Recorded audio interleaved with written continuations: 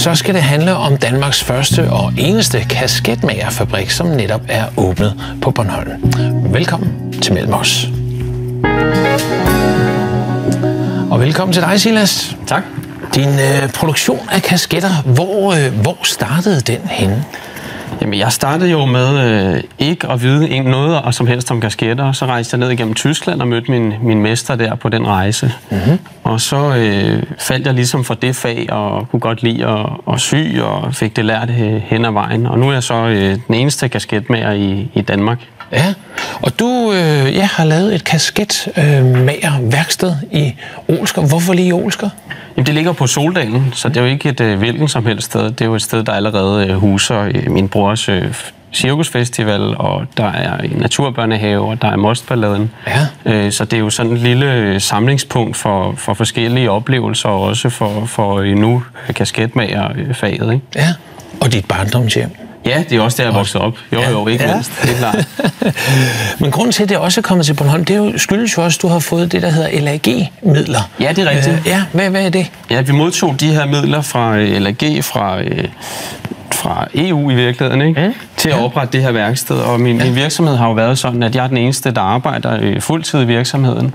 Og, øh, og nu kunne vi godt tænke os, øh, jeg har kunnet sy nogle enkelte, vi kommer op på at sy måske en 200 stykker i år, ja. øh, som jeg har lavet. Ikke? Men, men øh, hvis vi virkelig skal øh, skalere virksomheden, og, og også, øh, så har vi brug for at lave nogle lidt større serier. Ja. Og der kunne vi se, at der havde vi behov for øh, nogle nye maskiner til det, og øh, noget mere plads til det. Og så, så, fik, så viste der sig den her mulighed for at bygge værkstedet på, på Soldalen. Ja. Du bor jo i København og har lavet dine kasketter øh, også i København. Lukker du så værkstedet der, eller? Nej, altså lige nu så er det sådan, at vores primære salg jo ligger i København. Ja. Så der, øh, der fortsætter salget sådan set ved med at være indtil i hvert fald, hvor vi måske åbner op for noget salg også på Bornholm til, til næste år.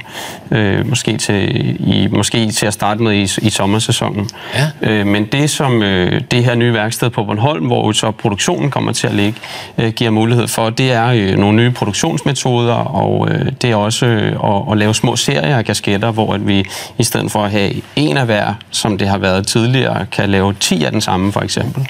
Ja, vi skal nok øh, komme op og se det nye værksted, men nu synes jeg lige, at vi skal have lidt billeder på, øh, på lokalerne i København. De kommer øh, på skærmen her. Hvor, hvor, hvor mange år har du øh, haft dem? Ja, jeg startede jo i 2010 i lære ja. i Tyskland, og så i 13 oprettede jeg øh, min virksomhed Vilgard.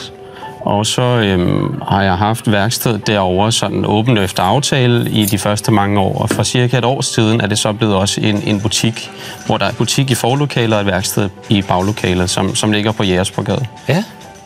Øh, nu nævner du, at du har været i lære i Tyskland. Øh, og det er hos en mester. Ja. Vil du ikke lige forklare lidt øh, om ham? Fordi øh, jamen, man kommer jo mesterlærer, jo, men var det virkelig en mester? Altså en af et stort, med et stort navn, eller hvordan? Ja, altså herr Bullmann, som øh, han hedder, han, øh, han var mester sådan af den, den gamle slags, den der gamle skrædder-type, ikke, som skulle have lavet nogle ting, og det skulle være ordentligt og, og så videre. Ja. Øhm, men det har været sådan en uofficiel læreperiode, jeg har taget der.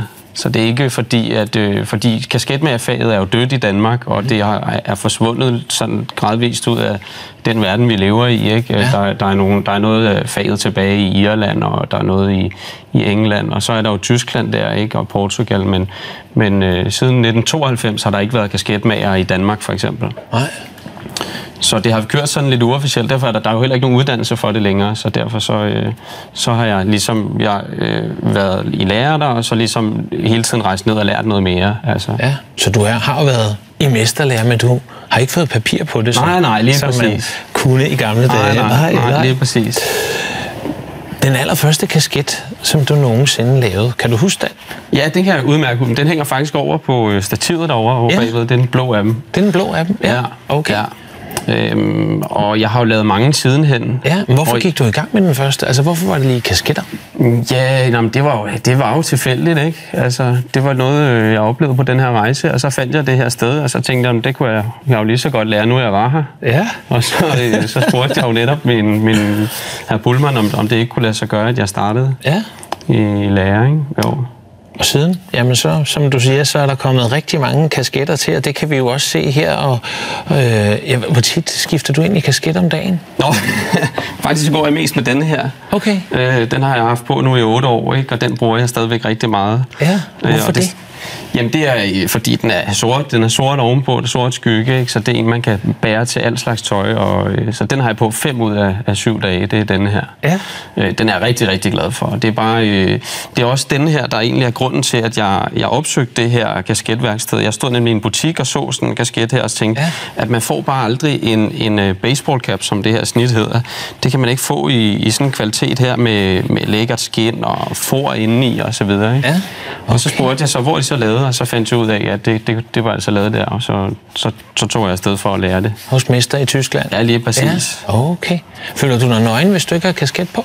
Nej, overhovedet ikke. Nå, okay, men det kunne godt være jo, altså som vi andre går med ur eller et eller andet, og lige pludselig ikke har uret på, så, så har man en mærkelig fornemmelse. Ja. Jamen, hvordan du producerer, og øh, hvordan der skal produceres på Bornholm, det øh, var vi forbi øh, til din åbning og få et par billeder af. De kommer på skærmen her. Kaskettens dele består jo af et yderstof, et for, øh, en knap, og den her justering, og, øh, og så skyggen, man sætter på. Silas Gærtner sætter sin hat, som han vil. Det her, vi er i gang med her, det er jo det første skridt i øh, kasketmagerproduktion. Efter en uddannelse i Tyskland kan han nemlig kalde sig for Danmarks eneste Så kasketmager. det næste skridt, det er jo at sy de her øh, stykker stof sammen. Sammen med sine to ansatte driver han fra i dag landets eneste kasketproduktion. Her kan folk fra hele landet komme forbi og købe Unica-kasketter i alle afskygninger. Det er en beklædningsgenstand, som er meget personlig, og som øh, man bruger ligesom til at fortælle meget om sin stil, fordi man kan sige, at andre, nogle andre beklædningsgenstande, de kan godt blive meget ens. Øh, men der, hvor man kan fortælle noget om sig selv om sin personlighed, det er for eksempel en, en accessory, som, som kasketten jo er. Ikke? Det næst sidste skridt, inden kasketterne er færdige, er en indgravering. Så efter vi nu har indstillet laseren rigtigt, så kan vi så øh, programmere den til at skære og gravere de her læderstraps her. Vilgard, som er virksomhedens navn, brændes i alle kasketterne. Så det sidste skridt, og et meget, meget vigtigt skridt i kasketmagerfaget, det er at stryge den hen over sådan en hatteblok som den her. For det er ligesom her, man får form i, i stoffet.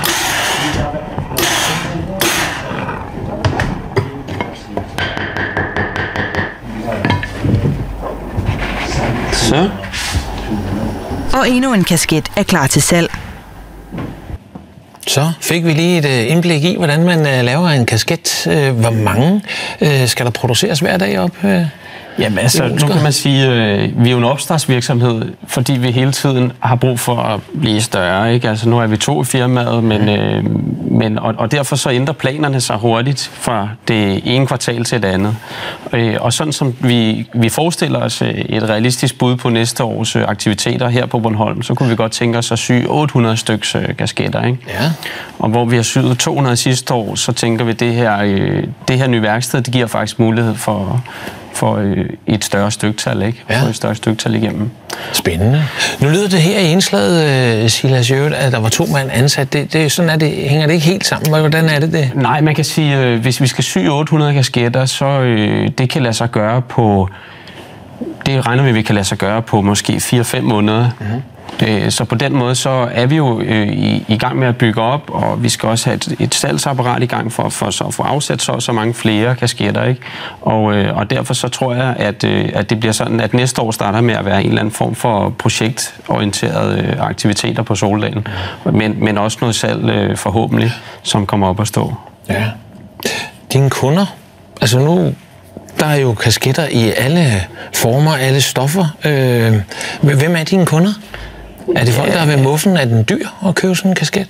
Ja, det er jo forskelligt. Det er jo, det er jo også lidt, øh, om noget er dyrt eller billigt. Man skal jo se på kvalitet. Ja. Og når, når man kan gå med sådan en her i, i 8 år, ikke, så, så skulle jeg jo mene, at øh, så er den jo faktisk billig.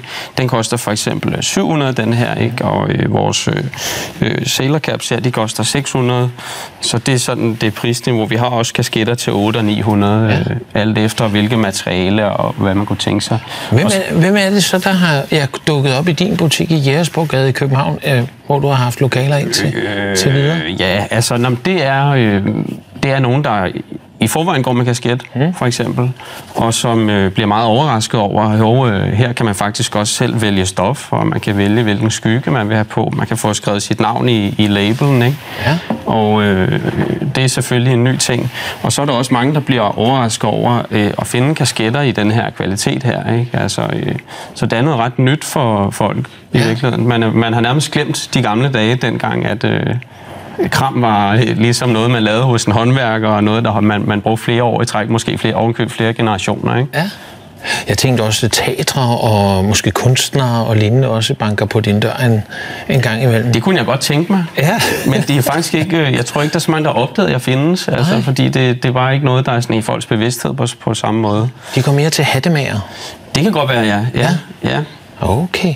Nu har du taget nogle stykker med. Jeg ved ikke, er der nogen af dem, som sådan ligesom skal have lidt flere ord med på, på vejen end altså, andre? jeg synes, den her er sjov, fordi det er jo en af de, nogle af de første kasketter, vi har syet. Det er sådan en sailor cap, svarende ja. til den, jeg har på. Ikke? Ja. Og øh, den er så øh, en af de første, der er kommet igennem apparatet her på Bornholm. Mm. Og vi har også fået sat sådan et for i her, som, øh, som viser nogle bornholmske bygninger, et, et tørklæde. Og det er jo den her type produkter, vi også godt kunne tænke os at, ja. at begynde at lave, ikke? Hvor, hvor der er et, sådan, de lokale islet øh, er også synlige i kasketten, så den får en historie om, hvor den, hvor den er syet og hvordan den er lavet. Ja.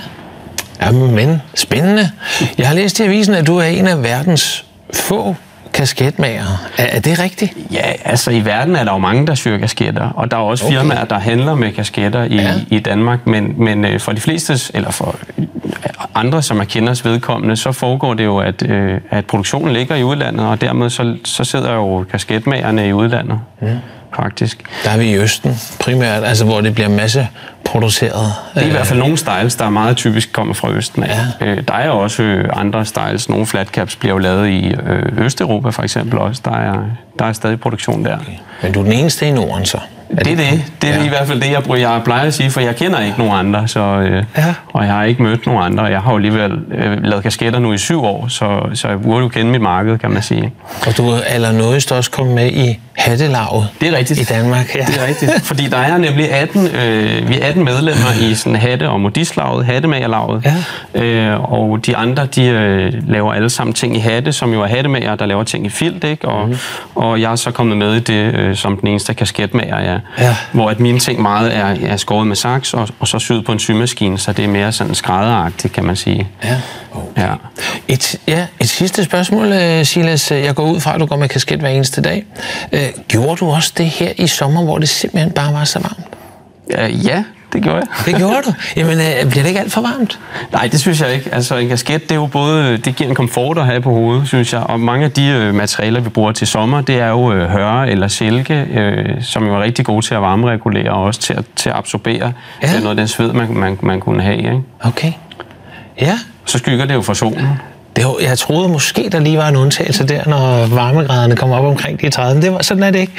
Det synes jeg ikke. Silas, stort uh, tillykke med din uh, nye uh, kasketmager uh, værksted op i Soldalen i Olsker, og held og lykke fremover. Tak skal du have.